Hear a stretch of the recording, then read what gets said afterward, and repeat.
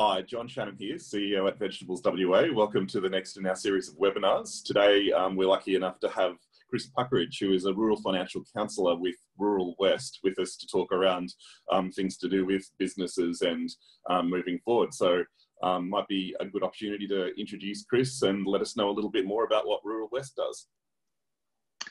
Yeah, thanks, John, and thanks for having me. Um, yeah, look, I'll start with Rural West. It's probably a name people don't know that name. They we were formerly, we've always operated under the brand of the Rural Financial Counselling Service of WA, and it's uh, uh, uh, we're we're funded by the federal and the state government, uh, and our our mandate is to assist uh, primary producers in in rural and regional Western Australia uh, to help you know build their businesses to support them if they're in difficulty. Uh, so there's 12 counsellors like me across the state, based in all different locations, and uh, there's a couple based in Perth. I'm one in Perth. I'm based in in Perth. Um, we all work from home anyway, so we're fairly flexible. Um, just a few things about us, John, that just so I like people just to understand is that we're while we are funded by the government, we're an agency, um, and we work under a very specific uh, act that allows us to be confidential. So any information that we um, discuss with our clients is confidential. We don't, you know, share it with government departments or anything like that. We use a, a, a, a very powerful model uh, developed by the Harvard Business School, and it's uh, the Harvard uh, Business Planning Framework. And it helps people understand the position they're in because a lot of people don't realise the position they're actually in, and so so we use that framework to so people get to see where they fit. We're neutral. We're not we're not sponsored by anyone. We don't sell anything. So um, you know, it's a great. I, I, I've I've worked in agriculture all my life, and I've worked in commercial businesses, and and and they have a job to do. And part of their job as a commercial business is to, sell things. And and in this job, I all my my role is to help people get the best they can. We're counsellors, not advisors, so we don't tell people what to do.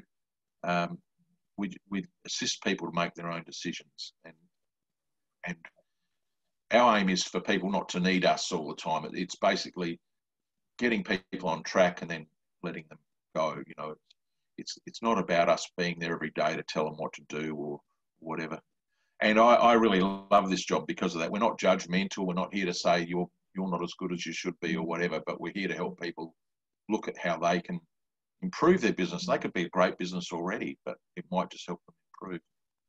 And finally, as I said, we're funded by the uh, state government of Western Australia uh, through DPIRD, and then we're funded by the federal uh, government through the Department of Agriculture and Water.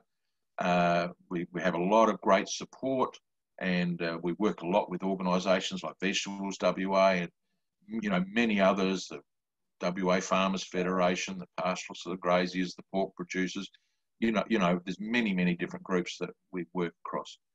There's no cost to our service uh, to primary producers, and we also uh, the reason we changed our name to Rural West was we also work with other small businesses um, throughout WA. You know, in, in towns and that as well. So we're not just working with farms and that we work with all sorts of things. So that, that was a, probably a long introduction, but it's uh, I hope that's covered it. Okay, so um, I'll, I'll, just run through the a bit of a program, John, of things that I think um, we can talk about, and, and, again we can dwell on a few and, and and skim over some. So I'll leave you to guide me on what which ones you think you want to talk about more.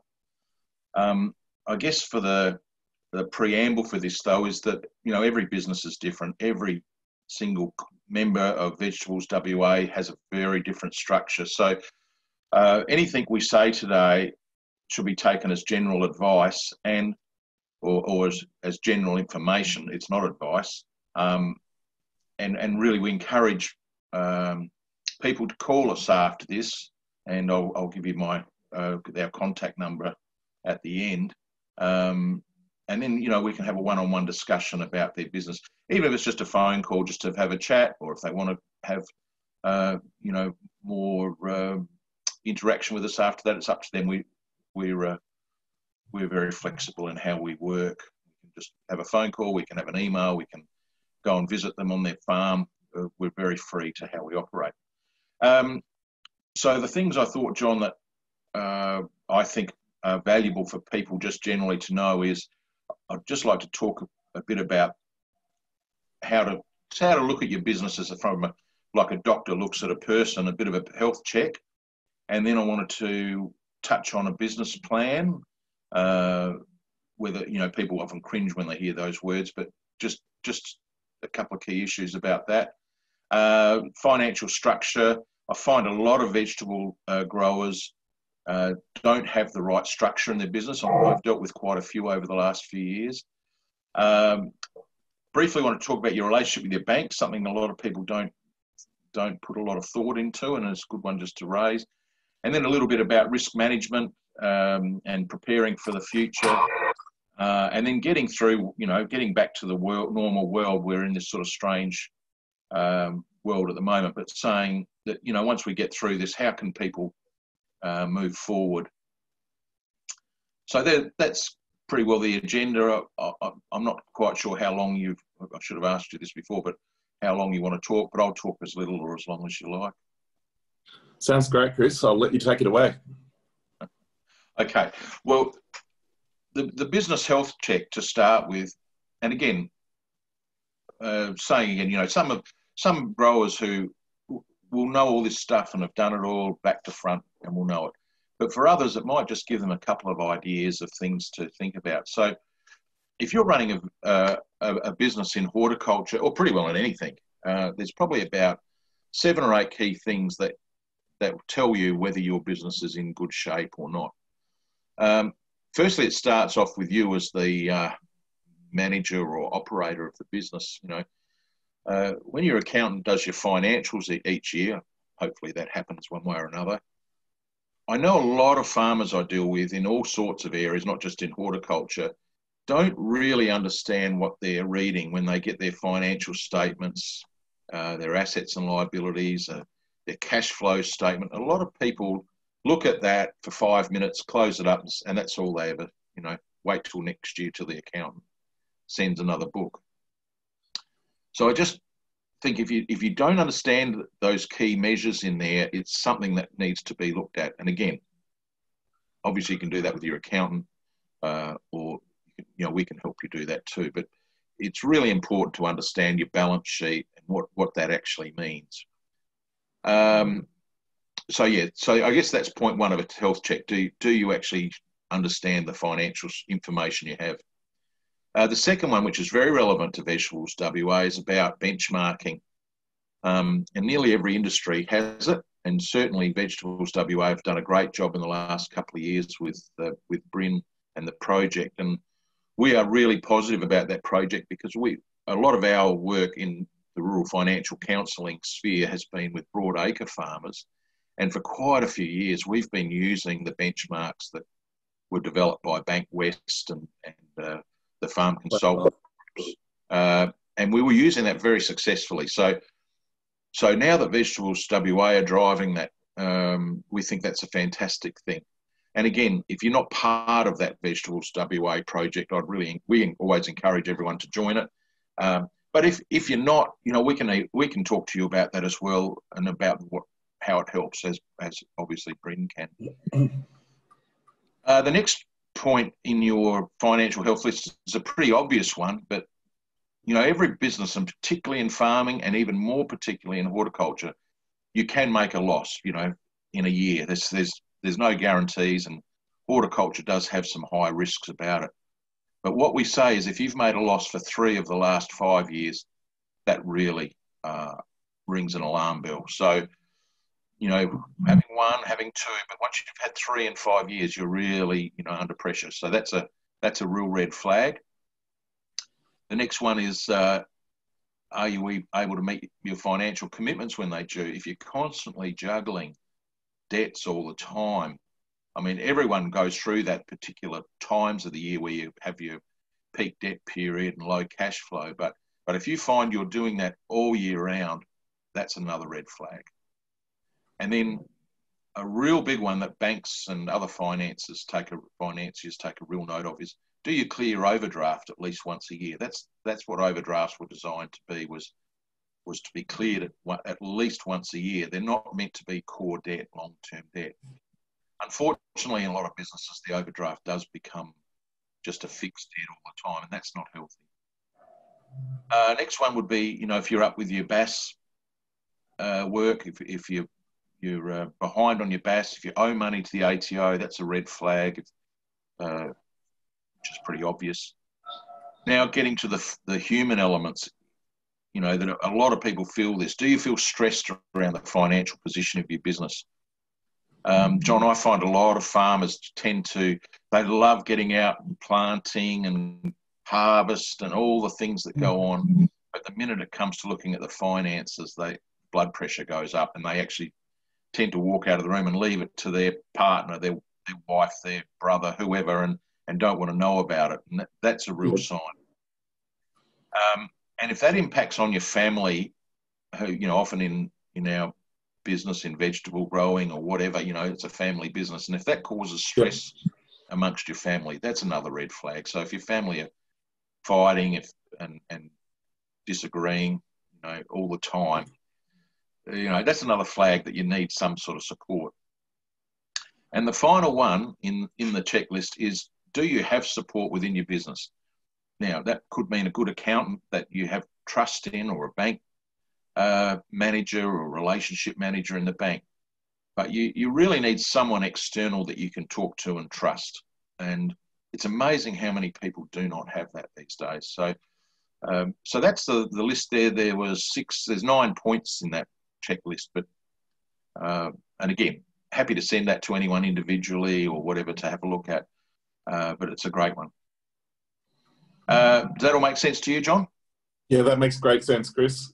Yeah you know, all of those things. I mean, all businesses get under pressure. It doesn't matter which business you are, whether you're big, small, whatever. There's always pressure points, but it's really about the how long the pressure goes, and you can only put up with that for so long, you know. And it starts to crack, you know, on people. They start losing, you know, sleep. Uh, they start making poorer decisions because they they're irritable. You know, they can't discuss things and and in our job as rural financial counsellors, we see that a lot and we can help people break some of that down. Yeah, um, the next chapter of, of what I wanted to talk about today, and, and feel free, John, uh, to ask any questions as we go along, but um, was just about having a business plan or a, business strategy. Now, people think, oh God, what, why do I need that? What's that about? And it's actually not about ending up with a book of, of 50 pages that says my business plan. It's actually about writing the plan. And uh, I'm sure, John, you would find this in Vegetables WA too, that when you make a plan to do something, it's actually developing the plan that really is where you learn and where you you you you get the benefit of sharing. Um, you know, if your family is together, saying, "What are you know, what are our goals for this year, for the next five years? Where do we want to be in 2024 or, or whatever? And a lot of people never have those discussions. They just go on every day on a grind and they really don't have a goal of where they're going. So, writing down a plan can be very helpful in identifying some key things about what is it that makes you want to be doing what you're doing. Um, let's say the the vegetable grower is a male farmer, you know, and he's married, and his partner, you know, does his partner have the same objectives as he does, you know, or vice versa, or as, as she does, you know, if it's it's a you know it's a, it's a common thing. I, have dealt with a lot of families, and one one partner wants to put a go bigger and get more land, and the other one actually wants to get smaller and reduce stress, things like that. So that's where a business plan is really helpful. And the final part of that one is the other part it's also helpful in is if we're dealing with a bank or seeking to refinance, uh, being able to give a bank a business plan is gold. And in this day, I, I find now with any bank, I, I, do help a lot of people refinance. And we always pretty well have to have a business plan now anyway. So it's a good thing in many ways. Um, the third thing on the agenda, John, was the financial structure. You know, and particularly in horticulture, a lot of businesses have grown organically. They haven't grown with a plan. Uh, they've often started as small businesses, maybe grandparents, great grandparents, what you know, started it, and it's just gone on and just grown. Um, and often the financials it outgrows the financial structure. And I'm amazed at how many, uh, not only vegetable growers, but fruit growers and vegetable growers, orchardists, market gardener operations uh, don't have a financial structure. They base their business on their mortgage on their house. And as a result, they're actually not running with commercial debt. They're basically using the, the equity in their, their home to fund, finance their business. Uh, when you're very small, that's okay. But once, as you get a little bit bigger and you might have had a, a son or a daughter come into the business, you, you actually need a, a better structure than that. And using your debt from your, you know, from the house you live in to fund your business has some risks in it. You know, you're risking losing your house if things go wrong, but also it's not commercial debt, so you can't actually claim on it uh, to get a tax benefit out of it. Um, so structuring your debt in a commercial sense sometimes may cost you more in interest, but the other benefits outweigh it. So I just think everyone needs to have a look at that, what their financial structure is. Uh, many other um, growers I've dealt with, you know, they actually don't have formal overdrafts and they're using credit card debt, things like that to fund themselves. And it's the most expensive debt and there's better ways to do it. And they can talk to us and we can help them with that. Um, now we lead up to the relationship with banks and lenders. Anyone over, say, 40 will know that not that many years ago, if you loaned money off of a bank, often the bank manager would come out to your block every year, maybe a couple of times a year, sit at the kitchen table, uh, talk mm-hmm. about what you were doing, and you know you'd actually shake hands and he'd go. You'd probably give him a few vegetables and a boot on the way out, and uh, and uh, he'd be happy and you'd be happy. Uh, uh, and you know that's how it used to work. But what that meant was that sitting in a bank somewhere, there was someone that knew you, knew your family, knew a bit about your business, and so on. Moving towards 2020, it's amazing how many people can have significant debts and not have anyone in a bank. The banks have basically said, "Oh, look, if you if you're under a million dollars, we don't really assign anyone to you. It's just a you know, now a million dollars is a lot of money in a in a horticultural sense. You've got to make a you've got to grow a lot of something to to pay that pay that off. And you can be dealing with hmm. any of the banks and not have a a relationship manager. So basically, you ring up and they say, "Oh, your account number. What's the problem? You know what? That's it." They're helpful as they can be, but they don't know you. So I think this is a key thing that forget whether your debt's 100,000, 50,000 or a million or 2 million. Uh, you, there is, you, you need to know someone in a bank that you can talk to that understands your business. And once you get to know them, inviting them onto your block to come and see you, meet your family, meet your the team that you work with is a goal because once you've done that, uh, they they treat they, I find they treat you very differently.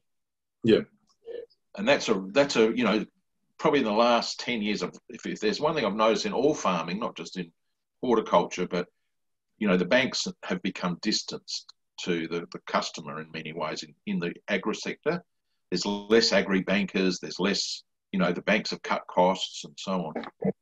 So so that's a real big one about building a relationship with your bank. Uh, the next one I just thought would quickly touch on is is risk management. Uh, and again, for any business, but particularly horticulture, you know, are you prepared for sort of disaster management? I think most farms and most growers of, of vegetables have a plan in their mind. You know, what if electricity goes off in the peak of summer? How do they get water? Um, what if they lose their labour? You know, what do they do? Do they do they actually have a plan for a crisis? And you know what I find, John, is that most growers I've dealt with have a plan. Yeah. But what they don't cover is themselves. So the key person in the business, you know, what if he breaks his leg or breaks his arm or or has a heart attack or something? Does it, who who's got all the information that's in his or her head that, that the key person in the business? And again, that that's the sort of thing that someone needs to have a, you know, everyone needs to have a backup in their business, just like I'm sure you do, John, in vegetables WA. You know, we're all got to yep. be replaced sometime. So there's got to be a sort of a backup plan.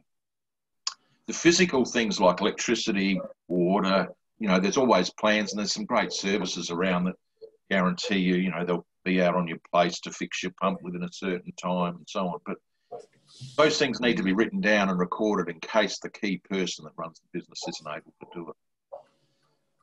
Uh, then that risk management leads on to estate management, the old classics, wills, life insurance, you know. And again, because we don't sell anything in the, in the job I do, I love it talking about this stuff because I'm not here to try and sell you any particular policy or like that. But uh, it's amazing how many people run a business with a debt and they don't have even the most basic life insurance that say you know covers their debt. Um, you know, it, it's a pretty basic principle of running a business. that let's say you generally owe a, a million dollars. So my way of looking at that is that the key people in the business should have life insurance to cover that million dollar debt so that if they, something did happen and they, you know, as sad as it is, they died, they're not leaving their family a million dollars debt. That at least that can be clear. So they're the sort of things again that I, I think people need to talk about and look at. Uh, and that goes on to wills, obviously, having wills that are up to date. You know, a lot of people make a will and then they never think of it again. Things change, and, and I have I deal with a lot of people a lot of families where they've had to, you know, sort of left with, you know, the tragedy of losing a family member and then having a will that's out of date creates huge you know, issues. Uh, more more farms are broken up and lost because of poor estate planning. They're ever broken up by poor droughts or poor, or by droughts or poor prices.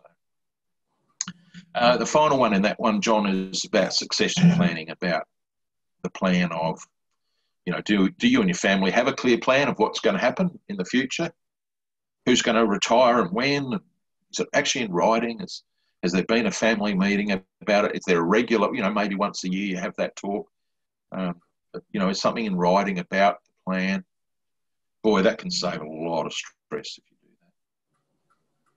that. Uh, and then finally, I guess, well, I guess that that leads. There's another thing there that, you know, when you, you know, dealing with families and generational change, the big question I raise with people is saying, so when you leave this property and you want to retire into to Busselton or Margaret River or Perth or wherever you live, want to live, or you might want to stay on the farm and your kids take over. Do you want to leave your kids an asset or a liability. And I mean, a liability is a business that's got a debt and can't service the debt. And if you leave it, leave your kids with that, boy, that's not much of a thing to leave. So, again, with planning, you can make that different. You know, you can work out different ways of doing it. Yep. Um, and it starts with having a talk with someone like us, or or or you know, I mean, you could be talking with your financial advisor or whoever, but your account your account's another great resource. Yeah, good point, Chris. Yeah, and then finally, John, um, you know, this sort of thing of moving beyond with this this world we're in right now, which is a bit unusual. And I know growers, I, I talk to growers every day who've been impacted by the COVID nineteen. You know, some products are in higher demand, others are in lower demand. Um, you know, it's it's amazing the difference. Some people seem to be doing okay, and others, it's you know, their their, their crops have basically being turned back into the ground. It's a it's a really extreme difference for some people. So we're going to get through this, and we're.